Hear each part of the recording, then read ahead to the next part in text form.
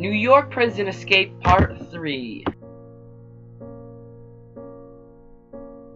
Hello everybody, thanks for joining Walrus News. Now we're on... This story is going to be more about the New York prison escape. Right now you see on your screen a CNN article just published a couple hours ago on the escape. And if we go to the top, says New York prison escape puts staff inmate relationships in the spotlight. That's true because the prison tailor was arrested for her involvement in the escape of the two inmates. Actually, a group where they're investigating a possible love interest, and she claimed that quote he made him her feel special. So as we're seeing on your page, it says quote the charges against a person tailor accused of helping two convicted murderers escape from a maximum security facility in the upstate New York have cast a spotlight on the relationships between inmates and correctional staff. The exact nature of Joyce Mitchell's ties to Richard Matt and David Sweat, the two murderers who are still unlinked, remains murky. A source with detailed knowledge of the investigation told that CNN that Mitchell was having a sexual relationship with the man. She was pleaded not guilty to charges of aiding him and sweat. Hundreds of consensual sexual relations between guards and inmates are documented each year in U.S. prisons, according to the Bureau of Justice statistics. More than half of all sustained incidents of staff sexual misconduct in U.S. prisons jails were committed committed by female members of staff, according to a study by the Bureau released last year. Prisons authorities face in the challenge of monitoring a complex web of interactions. I quote, I understand prisons run on a delicate balance in having a good relationship between guards and inmates, guards and employees. Employees and inmates is important New York, Andrew Cuomo said over the weekend. But there's a line, and when the line is stepped over, then action has to be taken. Some of the high-profile cases have drawn national attention.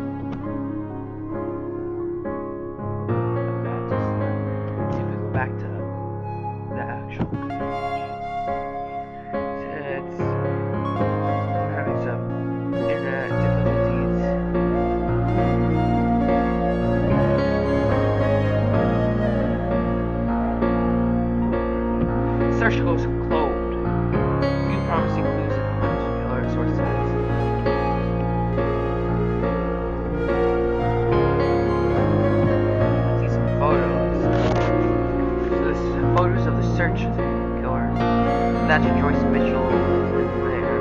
And this is one of the inmates in this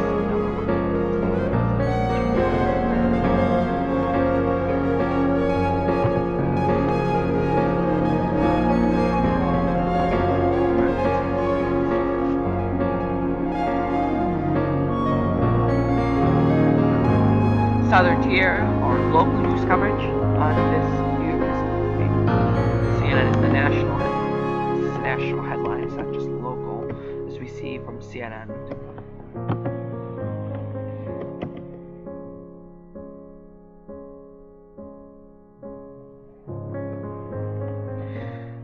Okay, let's see.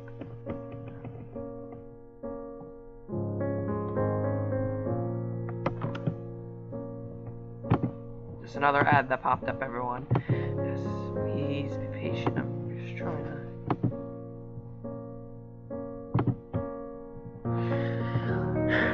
To. Prison break. Doubt seeps in community after 11 days of searching. From Time Warner Cable News, Binghamton. Article.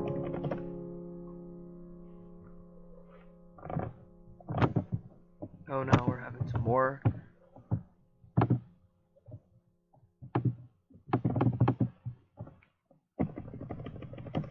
Oh, here's the article. Day 11 of a search costing 1 million per day, and with each day more doubt is seeping into this community in these crews about whether Richard Matt and David Sweat are actually in the Clinton County's thick woods. It has been a difficult week and a half weather-wise. Some days are sweltering with sun and humidity, others rain-soaked and even a bit chilly. The terrain has also put a damper on the search crew at times. More than 800 men and women are involved in the process of combing over thousands of acres of woods. But there is also the consideration how these inmates are handling the terrain. If they are still on the run here in Clinton County, they are likely not as well as equipped as the search, search crews. Earlier in this process, wilderness survival instructor Steve Lancia predicted by this point it would be likely become very dire for the escaped murderers Richard Matt and David Sweat. The search continues with a focus to our north on Route 374. It has been closed, but the that road has reopened for regular daily traffic as soon as Tuesday afternoon. With the cost of the search, we're waiting to see if, when the law enforcement begin begins to scale back. That's a severe weather that's impacting Central New York and the southern tier flash flood watch issued. Let's see if we can play this video.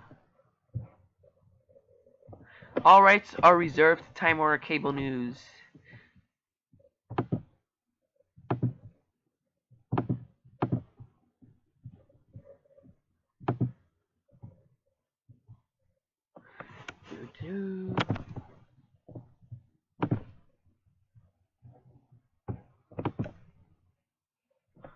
Oh, it appears we're having some technical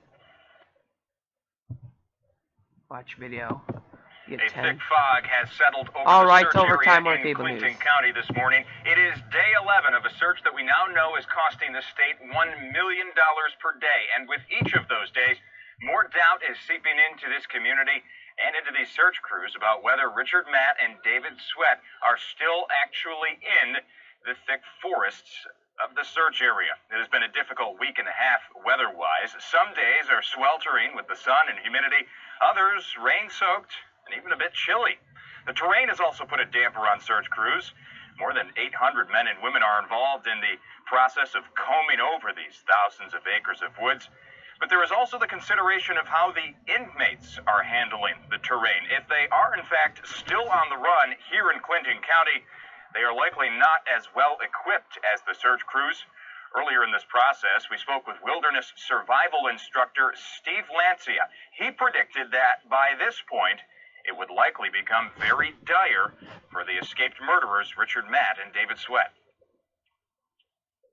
They've got skill. They've they've got urban survival skill. They've learned how to survive prison and get out of prison. Acquire tools. Their interpersonal skills are no doubt up to speed.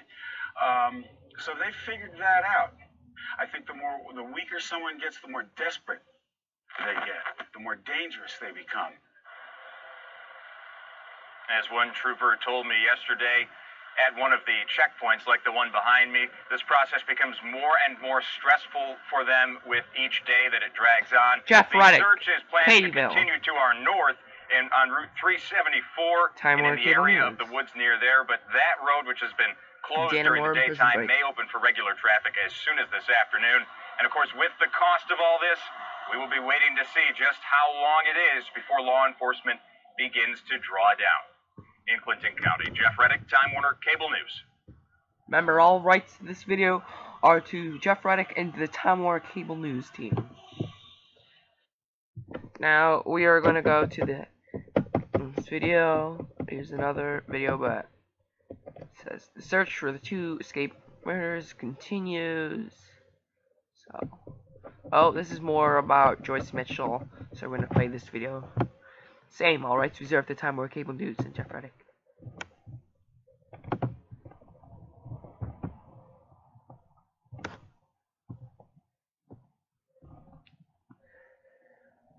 We're just gonna have to wait a little bit.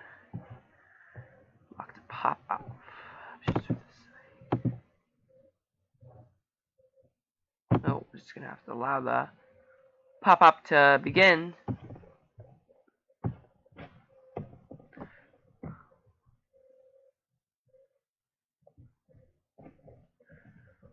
Whoa, it looks like there's reports of Joyce Mitchell conspired with inmates to harm husband. Right, time more cable news.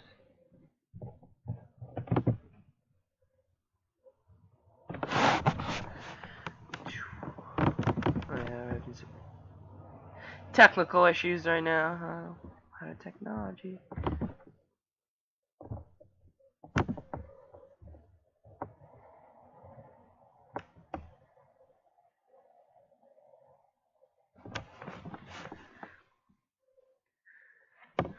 Well, that video's waiting to load. I'm going to go down this article. Quote, an agreement between... Oh, here we go. We can watch a video.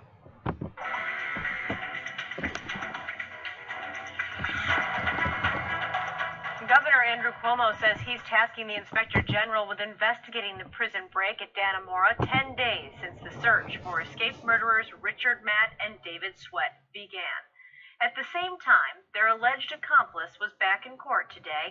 Jeff Reddick is at the search perimeter tonight with the latest details. Jeff, good evening. Good evening to you, Kate. Police transported her two and a half hours from Rensselaer County to here in Clinton County, but Joyce Mitchell's court date barely lasted two and a half minutes. Silent going in, Joyce, why did you do it? and silent coming out. Joyce Mitchell went before the judge again on Monday, but this time in jail fatigues and shackles. Bail has been set uh, at 100,000 cash, 200,000 bond. The 51 year old stands accused of providing tools to Clinton correctional inmates Richard Matt and David Sweat, a move contributing to the convicted killer's escape.